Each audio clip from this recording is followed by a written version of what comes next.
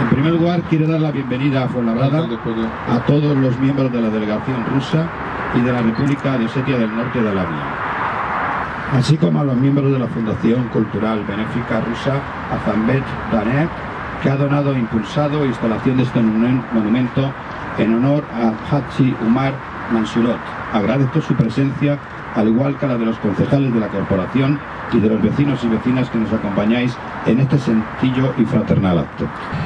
Como bien conocen los aquí presentes, Hadidi Umar Mansurot, cuya escultura en bronce y granito hoy inauguramos, fue una persona que luchó en la guerra civil y en la Segunda Guerra Mundial y en cuya figura se inspiró el escritor norteamericano Hemingway para escribir el tan famoso y tan conocido libro el libro Por quien doblan las campanas.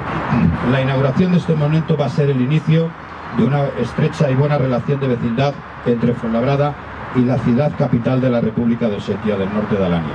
Con ello esperamos contribuir a establecer y fomentar la unión entre ambas ciudades pertenecientes a dos pueblos con diferentes culturas y costumbres, lo que seguro redundará en beneficio de todos.